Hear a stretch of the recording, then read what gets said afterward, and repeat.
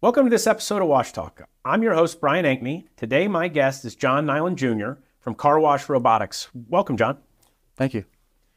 Well, thank you for coming all the way in from Kansas to be on the show today. Um, I want to get started with just a little bit about you, you know, your career path in life that got you to where you are today uh, with Car Wash Robotics. Sure.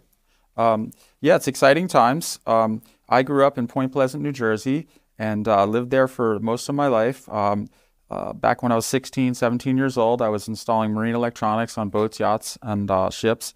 And, uh, you know, that was when GPS was invented. And, you know, it sounds simple, but back in the day, these autopilots were very advanced. And that, to me, was a, an early indicator of uh, how powerful these autopilots were as a form of robotics, right? Mm-hmm. Because literally, you could put a, a waypoint defined voyage into the chart plotter and push a few buttons, and the boat could take itself hundreds of miles uh, through all these different uh, course changes uh, autonomously, really. And uh, that was exciting, but back 30 years ago, it didn't seem to have a lot of uh, impact in, for most people. But anyway, fast forwarding, um, like I said, spending um, my life in the marine electronics industry, most recently I worked at Garmin Marine Electronics, the GPS company, for eight years. And that was a very, very exciting time. And during that time, we did a, a marine autopilot acquisition for the company. And again, uh, the autopilots, the radar control systems, when they couple them together, the GPS, um, to me, it's just pure robotics, right? So uh, it was a natural progression. Cool. Well, let's let's let's get started with uh, I think the million dollar question: Why in the world would a car wash owner care about industrial robotics? Well, uh, I hate to go right to the money card, but uh, the truth is, uh, automation has proven itself for 20, 30 years in automotive manufacturing spaces that uh, you know robotics make a difference, right? Because they're repeatable, they're fast, and uh, they bring efficiencies. So in the car wash space, uh, we need to do more with less, right? We want to make uh, we want to increase our operating income. Mm-hmm. We need new growth engines, and we need to be able to offset uh, margin compression through time. Okay. Well, I want to I want to hit a couple different topics. Um, let's let's talk about you know each of these things and, and how robotics will affect it. So let's let's start with throughput. How how do robots affect throughput for a car wash? Okay, um, the, the, the first iteration of our invention and our, our first generation product is a automated uh, prep uh, solution, mm-hmm. and that means that we have uh, a robot. Basically, when you go into the car wash tunnel, uh, you everybody could probably relate to this. usually, we'll see two people standing in, inside the tunnel with a pressure washer on each side of that conveyor. And they're there all day long, and they're at literally prepping the car before it goes to the rest of the tunnel equipment. It's a horrible job. It uses a ridiculous amount of water, it uses uh, way too much energy, and way too much soap. So, the use case was to use uh, robotics uh, there to automate that process. So, uh, we reduced the labor requirement there Mm-hmm. We reduce water, we reduce soap, and we get uh, a lot, a lot, a lot of the heavy stuff off the car there, and uh, a lot better finished product. You mentioned energy. I mean, energy is is important in every every business, but especially a business where you've got a lot of moving parts. And how how how does the robot compare to other equipment as far as energy goes? Well, we're using a lot less energy mm-hmm. because we're only uh, turning the pumps on when we actually are going to apply water as opposed to the two pressure washer uh, examples I mentioned to you that are always constantly on. Mm-hmm. So if you think about 60, 80, 120 cars an hour continually coming through, the way it's being done with people is they just have the water on full and the pumps are running on full. So you have 12 hours of electricity running, and uh, that's just over the top, right? Whereas ours is only being turned on 15 seconds when the car comes uh, in and it cycles to the front of the car and then it turns off, and then it goes down the left side of the car for uh, another 12 seconds, and then it goes and does the rear of the car for another seven seconds. So when you start to add that up at the end of a cycle, you know, you're, you're 30% less energy at least. Wow. Now you, you mentioned the two people that stand there, you know, that stand there to do what the robot will do. And, and as far as labor goes, how does it affect? I mean, for, for a car wash, what, what kind of difference does it make in labor? Well, there's the moving target, for lack of a better example, right? Mm-hmm. Uh, we all know that uh, a car a car wash environment is, is a harsh environment to work in. Mm-hmm. So there's uh, soaps that get atom- atomized in the air, and uh, it's hot, right? And uh, it's a noisy environment. So what we our our business model is based on having uh, one or two robots put in that place, and instead of having two people there to prep the car, we now have one person there making sure that the car gets loaded onto the conveyor properly, and that person is now just managing the robots to make sure that uh, the car doesn't you know do anything unexpected, like you know not being on neutral or jump off the rails or something silly. So it's a it's a whole different uh, environment for the worker. So the, the, think, the thinking there is that you're going to have a lot better retainage with workers, and it's a better job.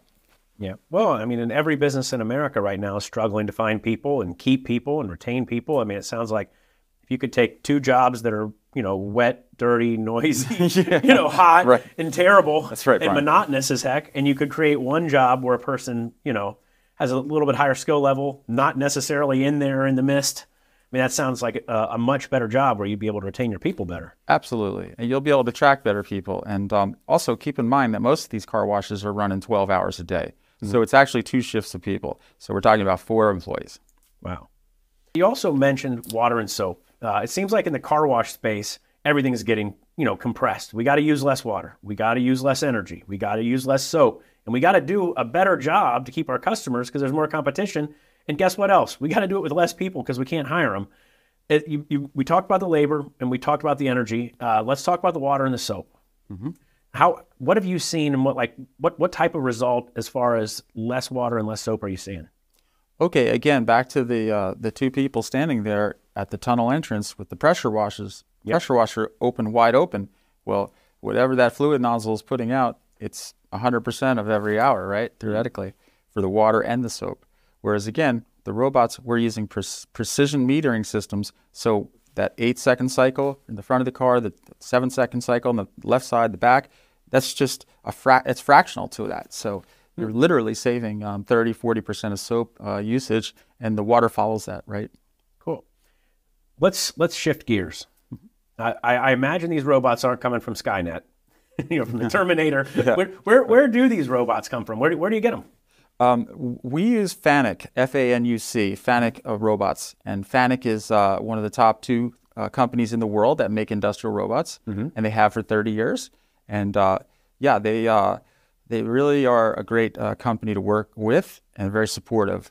They build a lot of the robots in um, Michigan, right here in the United States. the, a lot of the other robots are built in Japan, where the company is headquarters is and they have $16 billion in the bank, and they have robots building robots. Oh, wow. Yeah. So, so you're, the robots that you're using for the car wash, they're, they're similar or, or the same as robots that are being used to build cars, to paint cars. Like this is, this is like an off the shelf yes. robot. Yes, why, why, is that important? Well, I think it's important because, uh, you know, it's been proven for 30 years that these industrial robots uh, are robust enough to build these cars. Mm-hmm. And it's a very harsh environment building cars, right? They're bending metal, they're welding, and they're pressing. And uh, the, the interesting part is that what we've done is we've taken something that's been proven for 30 years, like you said, in the automotive manufacturing space, and in our case, the uh, paint application space, right? Mm-hmm. So you know, we're not just trying to say, hey, we've taken something that can build cars and now we're going to wash car washes with it. No, we're taking something that has evolved over 30 years as a, uh, you know, the premier paint application system to be able to put 14 different colors of paint on a car every 60 seconds, right, as it comes down the assembly line.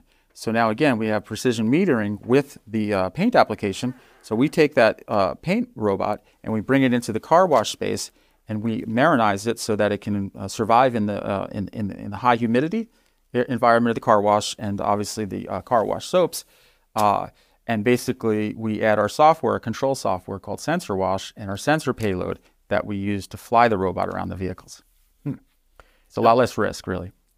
Now, you know, because a car wash has so many moving parts and a lot of different systems, you know, and during the, especially during, you know, supply chain issues, you know, it, it was an issue getting, you know, the right part for the right machine.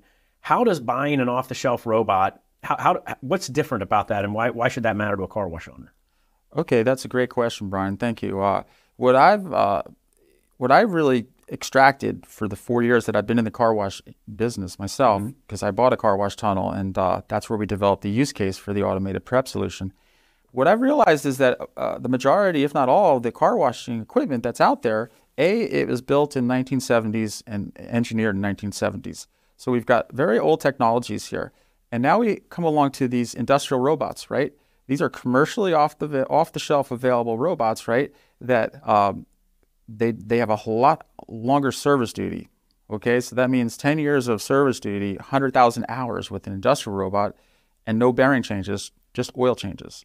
Mm-hmm. You go back to what's the existing car wash equipment is. These bearings are getting changed out every year. They have to be greased every month, and it's just I don't think it's a it's a comparison that you could really make anymore because if you have to order these bearings or parts, every one of these machines is more or less a Picasso, right? Because it's, not a standard machine. It's mm. made by one manufacturer and it varied over time. So for us, it takes a lot of the purchasing and the maintenance issues away right off the table off the bat. Cool. Now you can't talk about robots and technology of any sort really without talking about the future and what's next because you know we all we all like to like speculate and get excited about you know what's coming down the line. You're like what's what's next with robots? Yeah, that's exciting. Um, absolutely. What's next in robots, according to Fanuc, um, uh, is is a is a different type of robot than we have what we're talking about today. Today we're using industrial robots. They're very fast. They move six feet per second. And uh, moving forward, uh, there will be a transition into a combination of the existing robots that we have, but there'll be a robot that is called a collaborative robot. And the collaborative robot is something that is uh, intended to work much closer with people, meaning that physically you'll be able to take the robot head itself, and let's say you want to clean, you know, a wheel, right? You'll take the robot and you'll rotate it 360 degrees around that wheel, and that's actually how you program that robot right there and then. Oh wow! Yeah, wow. Yeah. You, you, you mentioned something to me earlier that I that I, I, think is super cool, and I know this is this isn't next year, but this is coming um, with with the, the, collaborative bots, the cobots. You'd mentioned like it cleaning on the inside of the vehicle. Let's can can you can you just kind of share your vision about that? Sure. I think it's exciting. Sure, thank you. We uh, we have the robots cleaning the outside of the car, right? Yep. That's uh, that's the success that we have after two years, and we're selling them, and uh, it, it's exciting and it's real. So now we look at okay, what's the next you know use case? What's the next uh, product roadmap you know solution, right? Mm-hmm. And that is uh, clearly to us is uh, is is vacuuming the inside of the car, because you know. 80% of the people that come to the car wash, they want the interior vacuumed. And, you know, it doesn't sound like much, but if you don't, don't get that customer, that's, that's a lot of customers that go somewhere else. Yeah. So it's hard to find labor again. So um, we don't think it's a real big deal to uh, to vacuum the car with the robots, especially the cobots, right? And, and, the fact that you know these robots have been putting dashboards in these cars uh, and doing all the assembly, right? Very very uh, you know meticulous, um, dexterous things. So we're uh, we're serious about that, and, and and and the exterior stuff we talked a little bit about before. I think the uh, spotting you know contamination on the car, right? Mm-hmm. You know bird droppings, things like that. You know that's that's what we're uh, we expect it to do. You know, I mean, that, it sounds like you know where we were talking about how you can save on water, save on energy, save on soap. If if the robot has the ability to identify the car that comes in that is covered in bird droppings and covered in mud, you know, and pay, pay special attention to that vehicle, but then the next ten that come through that are pretty darn clean, you know, as opposed to having every every car that comes through getting the amount of soap, water, and energy that it takes to clean the most dirty car. Now, it, are you what you're saying is the robot would specialize the wash based upon what is rolling through, like how dirty the car is? Yes, yes. The synthetic vision with these camera systems, AI, you know, if it doesn't make us extinct, extinct like everyone's saying, but uh, all kidding aside, the machine vision technologies are there, and we've uh, we've got software running to do these things, and uh, yeah, that's absolutely uh, what we're looking to do because uh, what else can you do if you can't bring new efficiencies to a market? Then you probably don't have a good business use case. But but clearly we want to use uh, whatever we need to do on each car that's specific to that model car, right, for optimal uh, results, not nominal, right? It's about optimal. Yeah. Let's let's talk about getting car wash or getting robots into car washes today. What what has to happen, or what what needs to happen in order for car wa- or robots to get into car washes across the country? Acceptance, mm-hmm. you know, awareness, understanding, uh, the value proposition, right? Um, you look at the revenue models, you know, there's 25,000 car washes in the United States that run a tunnel, I'm told. That's what our data supports. And what we found is that if you look at the revenue model, okay, let's say a full service car wash does 2.1 million a year in revenues today. and their costs are 1.1 million. Our goal, and we've shared this with the robot company when we first started with Emphatic, is that we want to take the 1.1 million dollars in cost and bring that down to 500,000, and that's really the value proposition. Wow. So instead of building another one, you can just make more than twice as much money off of the one that you already have. Absolutely. Well, that's that's a heck of a that's a heck of a case. yeah, right. That's it. That's the bottom line. Yeah. Well, I mean, I guess it makes sense. So if a robot lasts 10 years, works 12 hours, uses less soap, uses less energy, I mean, it sounds like it sounds like a, like a pretty interesting thing. How you know how how can somebody find out more about about the robots that you're offering? Well, they can call us and they can email us and um, get started with us. You know, get on the list, right? Because uh, like all these the businesses today, uh, post COVID, there's a supply chain drag, like you mentioned earlier Yeah. in our conversation. So, um, you know, we're about two months out, and uh, this is our second year in the industry as a startup, and uh, yeah, we're uh, we're looking for a partner in the industry, somebody that can, you know, or or outside the industry, somebody that recognizes what our proof of concept represents and what our first generation success is, and wants to help us get to the market faster. Because I think the uptake of this, the opportunity for the uptake of this new technology, I think it's it's it's a very unique time, and I think in three to five years it'll it'll be a lot less uh, lucrative, right? Yep. Cool. I, I I thank you for coming today. Is there anything more you'd like to share with our audience before we say goodbye? No, uh, thank you, and uh, you know I would just say em- embrace this because uh, it's happening in all vertical markets, and uh, the exciting thing is it's uh, th- there's no downside to this. It's just uh, it's upside, right? Because you want to keep your customers, right? And uh, we didn't talk about the ecological side of this, but uh, you know we all want to use a lot less water in this world, right? Yep.